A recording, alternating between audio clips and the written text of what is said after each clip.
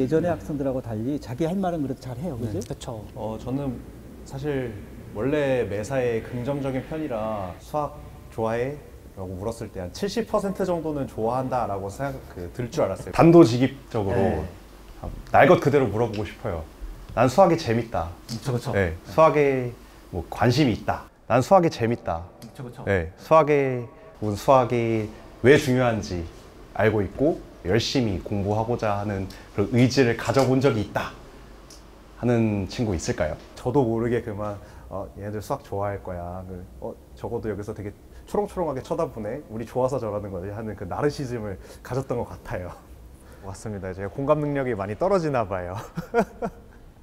혹은 어, 웃어주는 몇 명의 학생들만 보고서는 어, 저게 대세의 어떤 감정일 거야 라고 크게 착각을 했던 것 같습니다. 어, 그걸 보면서 아 우리가 생각했던 강연의 수준보다 조금 더 높여서 정말 이 수학의 아름다움과 유용함을 어느 정도 깊이 있게 전달할 수 있을 거라는 생각을 했는데 이, 이 강연의 약간 난이도를 높일 생각을 하셨다고요?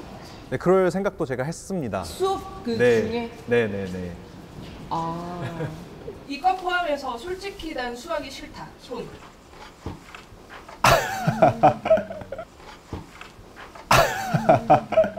슬, 슬프네요. 좀 충격을 많이 받았고 앞으로 강의를 어떻게 만들어 가야 되나에 대한 걱정이 막 엄청 크게 생기게 됐습니다. 네. 아, 아까 용어를 물어봤을 때 학생들이 군론을 안다고 한 친구들이 한 다섯 명 있었거든요. 먼저 군론, 군론이라는 단어가 있어요. 타원곡선, 배수기하, 배수위상, 코고몰로지. 코볼로지 아, 하는 순간 애들이 아, 눈이 네. 갑자기 뭐 이렇게, 이렇게 뜨면서 이렇게 쳐다보더라고요. 방금 내가 말한 다섯 개 중에 한 세 가지 이상의 단어를 알고 있다. 저희의 첫 강 주제가 군론이라는 주제거든요. 네, 첫 강부터 이미 통계 수업을 그래도 교양 수업을 듣고 온 친구면은 상대적으로 저희의 대상보다 이제 위에 있었다고 생각을 했는데 그럼에도 불구하고 정말 용어나 그런 게 아직 되게 많이 차이가 나는구나 그런 건 좀 걱정이 되더라고요. 어떻게 해야 그러니까 될지. 군론이면 그룹 디어리인데 그 세트 디어리 아니냐고. 그쵸 그쵸. 네. 아, 예리한 질문이었어요. 큰일이네. 집합. 이랑 비슷한 음. 그렇죠? 뭐 물론이랑 좀 집합을 오라는 게 좀 더더 대중적으로 다가가지 않을까. 사실은 오늘 학생들에게 이제 피드백을 받기 위해서 학생들과 여러 가지 얘기를 하면서 그런 반성을 좀 했어요. 제가 너무 당연하게 생각했던 그런 그 용어들조차도 학생들이 대부분 모르더라. 약간 멘붕의 느낌. 아, 그럼 그런 단어가 아주 중요하게 사용되는 그런 강연은 아예 들 생각도 안 할 수도 있겠구나. 이걸 들을까 말까, 심지어 이걸 볼까 말까 이런 생각을 하고 있는 사람들에게 제목 자체도 난해한 말들도 가득 차 있으면 별 이유가 없겠죠. 미분 질문을 제가 학생들한테 네. 했었는데 네. 혹시 기억나시나요? 네. 이분이요, 네. 네네네. 미분을 모르지만 시험 때문에 풀었다는 분 손들어 주실 수 있나요? 아, 너무 마음이 아프죠. 사실 저희 같은 경우에는 고등학교 때도 그렇고 대학에도 아 이게 왜 이렇게 되지? 어 되게 신기하네. 또 몰랐던 걸 한참 시간을 투자해서 이해했을 때 그 얻는 기쁨이 너무 맛있고 달달해서 했는데 이 달달함을 어, 쓴맛이라고 받아들이는 학생들을 보면서 참 마음이 너무 아팠습니다. 제가 보통 학생들에게 이제 미적분을 얘기할 때는 미적분 나오기 전 17세기 이전에는 뭐 움직이지 않는 삼각형, 움직이지 않는 직각삼각형 뭐 이런 것을 가지고 우리가 수학을 했는데 지구가 태양을 돌고 달이 지구를 돌고 하는 이런 움직이는 세계를 다루려다 보니 그런 수학으로는 세상을 다뤄볼 수 없더라 이런 걸 깨달아서 그 움직이는 세상을 다루는 언어가 필요하다 이래서 나온 게 미적분이라고 얘기하거든요. 학생들이 곰곰이 생각해 보면 이걸 알거든요. 근데 한 번도 이런 관점을 생각 안 해본 거죠. 그래서 기계적으로 문제는 풀지만 그런 거 왜 하는지 잘 모르는 학생들이 많았는데 저는 그건 어른들의 잘못도 크다고 생각해요. 그 당연히 그 수- 수학을 가르치는 사람들이 그런 얘기도 같이 가르쳐줬어야 되는데 그 책임은 학습자한테 있는 게 아니라 저는 교습자한테 있다고 생각해요. 네. 이제 주제라기보다는 네.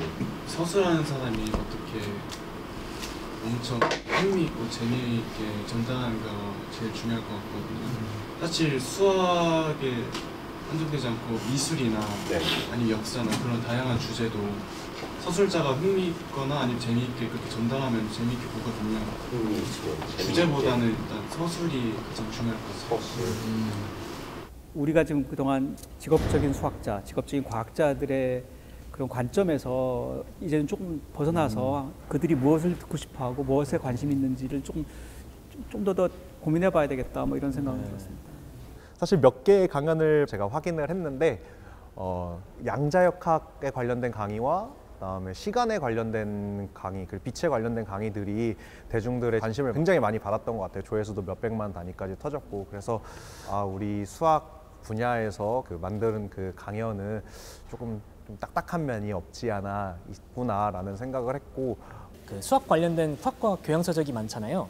그러니까 거기에 약간 금과 억조 같은 경원 중에 하나가 수식이 하나 들어갈 때마다 독자 수가 반씩 줄어든다. 그런 말이 있거든요. 그러니까 저는 수학이 어떻게 보면은 컨텐츠 자체의 문제보다도 그거를 확실히 포장지에 신경을 많이 써야 된다. 그러니까 내용물까지 사람이 접근할 수 있으면은 아 얘가 생각보다 맛있네 하고 전달할 수 있는데 일단 사람을 내용물까지 가게 하는 게 진짜 어려운 거다. 그런 면에서 수학은 확실히 다른 것보다 포장을 좀 신경을 많이 써야 된다라는 거는 걱정이자 뭐 목표이자 그런 것 같습니다. 제목이나 아니면 강연의 시작 자체가 사실 군론이라는 말이 들어가면 안 될 것 같다는 생각은 저는 하고 있습니다. 이게 시작부터 제목에 모르는 단어가 나오면은 진짜 마음이 다치기 십상이거든요. 그러니까 적어도 사람의 마음을 열기 위해서는 아 당연히 그 내용은 녹여내야겠지만 그거를 굳이 그런 전문 용어를 쓰지 않더라도 이제 전달할 수 있는 그런 방법을 찾아야겠죠. 제가 2012년부터 아마 카우스 강연을 이제 처음 시작할 때 같이 했었는데요. 그때는 실제로 과학 콘서트 같은 느낌으로 대중과 만나고 이런 걸로 시작했거든요. 그래서 직접 그 뭐 차를 타고 기차를 타고 뭐 심지어 비행기를 타고 그 강연장까지 올 정도로 모티베이트된 사람들이 주로 대상이었어요. 그러니까 그들에게 이 얘기를 꼭 들어주세요라고 말할 필요가 없었어요. 이미 준비가 돼 있었거든요. 근데 어, 그 사이에 이제 대중이 콘텐츠를 소비하는 방식이 바뀌었습니다. 특히 그 코로나를 겪으면서 급속도로 이런 온라인 방식의 어떤 그 소통으로 바뀌었는데요. 그 그렇다면 그런 소통에 최적화된 형태로 콘텐츠가 전달되어야 하고 준비가 되어야 하는데 저는 그 아직은 적응의 과정에 현재 있는 것 같아요. 그래서 이번 시즌의 목표는 이번에 최대한 그 그걸 이해하고 소화해 보자 이런 이런 것이죠. 그래서 저는 그 예를 들어서 한 시간짜리 강연이더라도 5분 정도의 요약본은 적어도 웬만한 사람이 보고 즐길 수 있어야 된다고 생각해요. 그리고 그게 정말 재밌어서 난 그럼 전체를 다 봐야지라고 갈 수 있게 하는 동기를 주면 되고 보다 보니 아 너무 이제 중간에 난해해져서 여기부터는 나는 아닌 것 같아. 지금은 그럼 지금 아니고 나중에 다시 보면 되거든요. 그래서 약 5분 정도의 요약본은 적어도 사람들이 즐길 수 있으면 이번 시즌 성공이라고 생각합니다.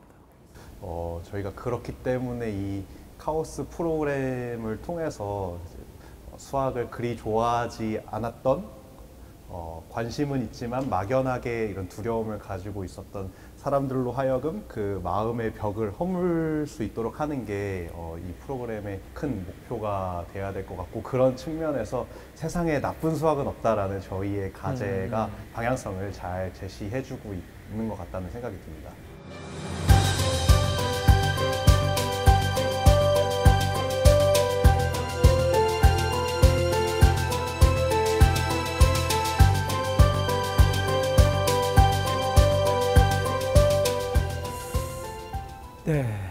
그러니까요.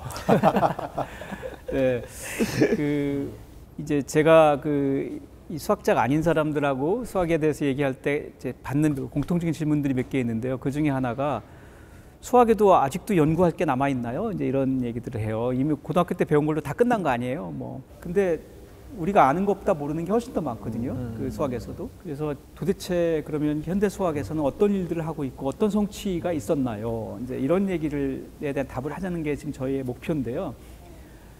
음, 수백 년의 난제, 페르마의 마지막 정리 같은 뭐 350년의 난제가 결국은 어떻게 해결되는 근데 이런 것들은 굉장히 드라마적인 요소가 있거든요. 그 문제를 해결하기 위해서 그 투쟁했던 인간적인 측면까지 같이 전달하면 그 사람들이 공감을 느낄 수 있을 것 같아요. 왜냐하면 각자가 자기 삶에서 나름의 싸움들을 해- 하면서 살잖아요. 어, 제가 이제 지금 어떤 그, 그 그리는 저의 이번 시즌은 사람의 얼굴, 인간의 얼굴을 한 수학입니다. 그들의 어떤 살, 삶의 얘기도 같이 좀 담았으면 좋겠습니다. 어 글쎄요 대중 강연 네.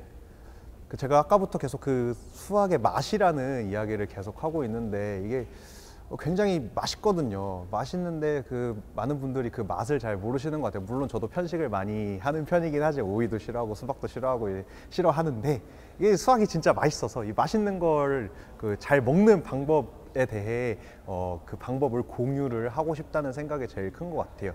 저는 박사 학위까지는 어, 수학으로 받았고 그 이후에 어, 인공지능을 공부를 해서 지금 인공지능 응용학과에 재직을 어, 하게 된 거예요. 나중에 알고 보니 이 제가 공부했던 수학이 인공지능이라는 학문을 이해하는 데 너무나도 중요하게 쓰이고 있었던 거예요. 그래서 그 수학의 언어를 통해서 인공지능에서 분야에서 발생하는 다양한 현상들이라든지 알고리즘을 설명할 수 있는 걸 보고 너무나도 큰 쾌감을 느꼈단 말이에요. 즉 맛있었어요. 그래서 이 맛있는 걸 이제 나눠 먹자 라는 어, 목표 어, 아래 이 어, 대중화 프로그램에 참여하게 되었습니다.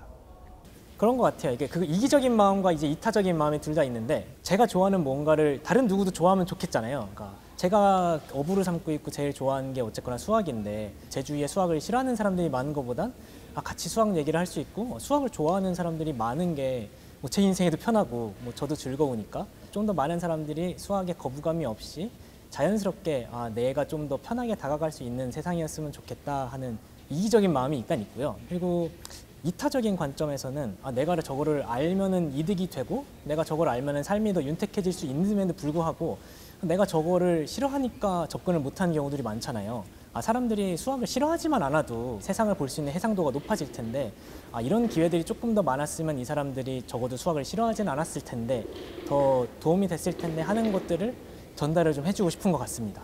네. 저는 그 제가 자주 드는 사례가 미국의 나사인데요. 나사는 뭐 화성에도 우주선을 보내고 뭐 저 보이저도 보내고 목성도 보내고 막 이러잖아요. 그 정말 천문학적인 예산을 쓰거든요. 근데 미국 국민들의 그 세금이잖아요. 그럼 그들이 왜 그런 일을 하는지 그 사람들이 설명할 의무가 있다고 생각하거든요. 그래서 나사는 끊임없이 자기들이 하는 일의 가치와 그런 그 우주 탐사의 그가 이- 인류에게 나- 마지막 남은 프란티어가 될 것이고 인류의 어떤 생- 생존 가능성을 늘려줄 거라는 그런 그 설명을 끊임없이 하고 있다 하고 있어요. 이제 그런 것처럼 이 과학이 그 특정 그 어떤 그 집단의 전유물이 아니고 그것들이 공유되는 가치가 될 때 실제로 과학 자체의 어떤 그 발전도 이루어진다고 생각하거든요. 그래서 카우스 채널을 포함해서 이런 과학자들이 어떤 일을 하고 있는지를 대중에게 보여주는 그리고 그런 것들의 가치를 그 공유하는 이런 작업이 그 과학 자체의 어떤 서바이벌을 위해서도 반드시 필요한 일이라고 생각합니다. 안녕하세요. 밤샘 토론하고 차이나는 클래스 만들던 신혜리라고 합니다. 네, 여기는 웬일이시죠? 카오스 재단에서 과학의 즐거움을 나누는 컨텐츠를 만들잖아요. 함께 컨텐츠 만드는 일을 하게 됐습니다. 솔직히 학교 다닐 때는 별 관심 없었죠. 수학을 제일 싫어했습니다. 수포자라고 하기에는 어쨌든 끈은 놓지 않았다. 다만 암기 과목으로 접근했다는 차이가 있지만 과학의 즐거움을 나누러 왔는데 하필 올해 주제가 수학이라서 저도 좀 멘붕에 빠졌는데요. 저같이 수학을 제대로 학창 시절에 이해하지 못한 분들도 수학의 즐거움을 느낄 수 있게 어, 제가 그 중간에 징검다리 역할을 좀 잘 해보면 좋겠다고 생각하고 있어요. 시청자 여러분, 제가 뼛속부터 문과 인간이거든요. 감수성 충만한 그런 사람도 수학을 이해할 수 있다는 것. 제가 최선을 다해서 쉽고 재미있게 수학을 전달할 수 있도록 노력해 보겠습니다. 화이팅!